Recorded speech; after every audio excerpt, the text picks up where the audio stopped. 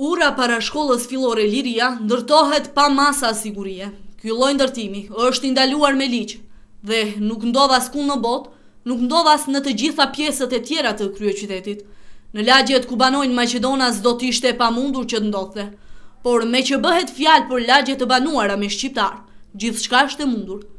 Qytetarët të cilët banojnë afër dhe kalojnë pranë urës janë të mllefosur pasi ata janë të rrezikuar në çdo moment. Realitet duhet të ketë një shenje që është tu punu që njerzit pak t'ruhen. Duhet pak me u angazhu me i këshyr pak ma mirë. Është problem, te na është problem gjithçka, se ura ka ekzistu për nejse, po kurnjëherë nxënësit nuk hipin aty, se unë qështu jetoj. Ne, Ne e bezbedno.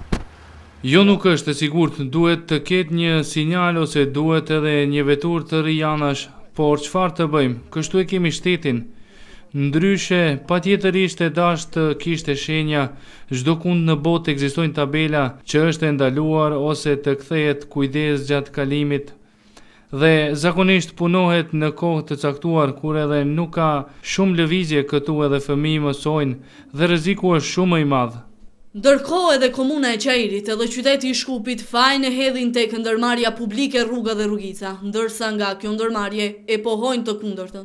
Ata thonë se ura nuk është në kompetencë të tyre, pasi siç theksojnë ata, është projekt i komunës së Çairit dhe qytetit të Shkupit. Megjithatë, Meqë bëhet fjalë për jetë njerëzish, nga kjo ndërmarrje premtojnë se do të kontaktojnë me kompaninë që kryen ndërtimin e urës për të vënë masa sigurie.